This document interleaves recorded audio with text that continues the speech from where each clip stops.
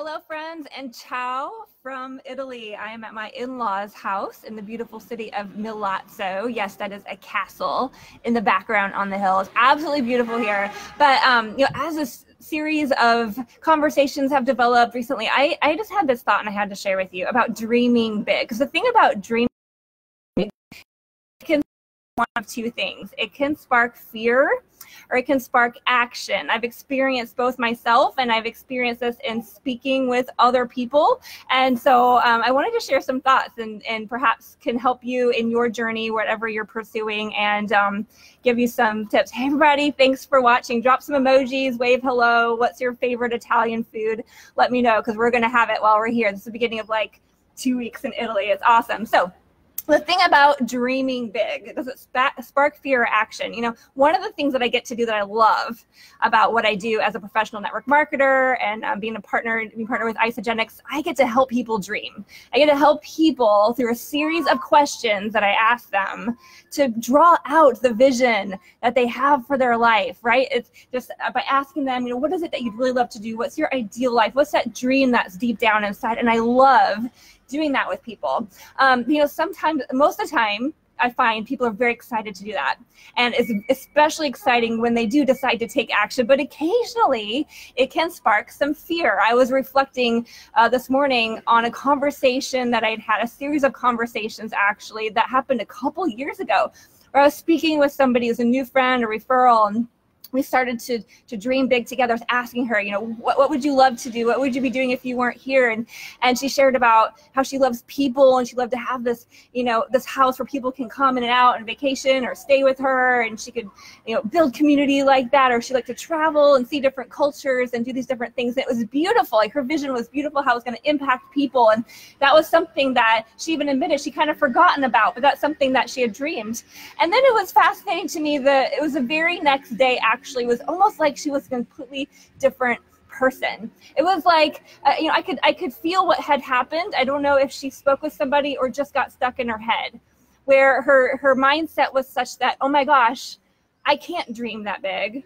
I'm supposed to struggle. And she almost got angry at me for helping her dream because it felt like I was perhaps trying to trick her or persuade her in, in a different way for some reason. And that doesn't happen very often, but I wasn't angry, upset with her because I could see what had happened. It's like overnight she got in her head like her vision that she had told me that she had this desire of a heart. It was like she all of a sudden lost hope that it was supposed to like it wasn't supposed to happen. That was too abundant for her to think of and that would have been selfish for her right? And that whole mindset around abundance and selfishness can be another facebook live. Would you be interested in that? I can i can help you. And you have pizza. We're definitely going to have pizza here tasha. But would you be interested in a facebook live about an abundance mindset versus scarcity? I'd love to share that sometime. But back to this conversation you know anyway so um I wasn't really able to help this woman because she wasn't open, which was fine. But fortunately, most people do take action. In fact, just this morning, it was 7:30 a.m. Eastern time back home. This is a daily call that I'm usually on, and today was my turn to train, and it was 1:30 in the afternoon here. But this the the topic that I trained on was how to overcome a negative mindset by taking action right? How to overcome, because usually taking action is the way to overcome a negative thought, a negative mindset. But what I like to do is reframe the whole idea of negative thoughts or negative mindset because when we have a negative thought, it's not that our minds are trying to hurt us, right? It's not like we're, we're, trying to trick ourselves. We're not trying to hurt ourselves. In fact, it is just the opposite, right? Typically, our mind is trying to keep us safe. But its method of doing so is opposite to our success.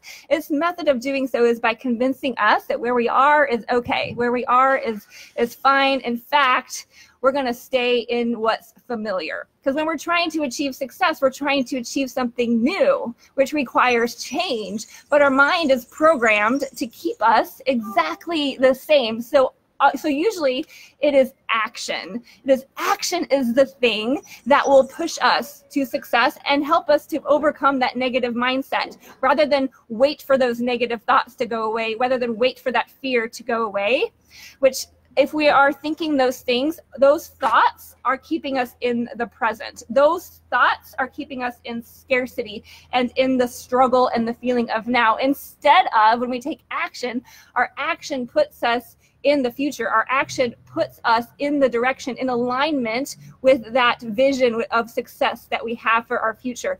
That helps us actually change our negative thoughts into positive thoughts when we have the courage to take action anyway towards our goals, even before our mindset negative thoughts turn to positive thoughts you know, fortunately, unlike that negative experience, that challenging experience with that um, person, that friend who overnight gave up on her vision that she had shared with me just simply because of a scarcity mindset. Most people that I get to talk to do have an abundant mindset. In fact, that call I had this morning that I shared uh, earlier was full of entrepreneurs, and I'm so grateful to be affiliated and partnered and collaborating with such a powerful group of leaders, such as that are attracted to our company. You know, not even all, most of which aren't even financially connected to me. We're just in alignment with the vision of creating more choice and abundance for ourselves and our family and for more and more people, because that's the world that we want to live in is a, is a world where people have more choice and freedom and abundance and, and peace. So that's our vision. So what I wanted to share and, and to summarize all this and bring it to conclusions, actually, was stimulated conversations today was a huge announcement just made last night by my company that I'm partnered with, Isagenix, which has made it possible for me to take my dreams and and align it with their vision, to make it come true. It's just it's, the road tracks are there, and what I've been able to do with so many other people, they just made it easier. They just made it possible that with a lower investment to have a higher payout how do they do that? There's this, there's this movement within the movement right now that we've been really excited about.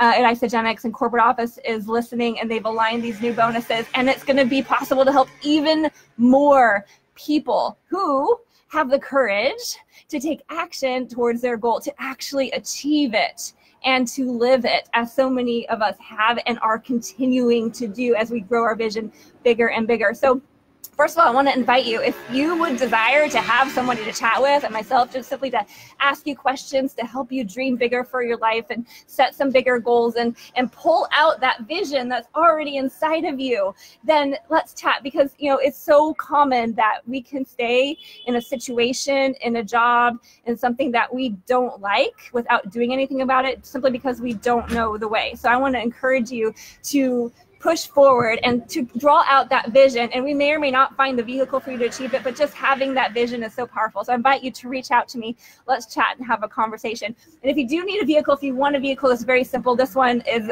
better than any that I've ever known. And I'd love to chat with you about either just feeling your best in health as you know I, I work with health products that support the foundation of your of your cellular health just do that and maybe even just get it paid for and that'll also support our vision of impacting world health. Um, or if you're ready for a really big change, if you if you want a side gig for extra security, or if you want to go all in like many of us are and race towards um, financial freedom and more choice, I'm super passionate about that, and I want to help you do that as well. So anyway reach out. Thanks you guys. Thanks for sharing your favorite foods. Oh yeah wine like i passed it on on lunch but we have a little bit all the time. The wine here is fantastic. Spaghetti pizza we're having it all. Watch my stories. I shared a little bit earlier today some of the food that we've in our first 24 hours in italy and no doubt there will be many many more. Appreciate you all. Thanks for tuning in.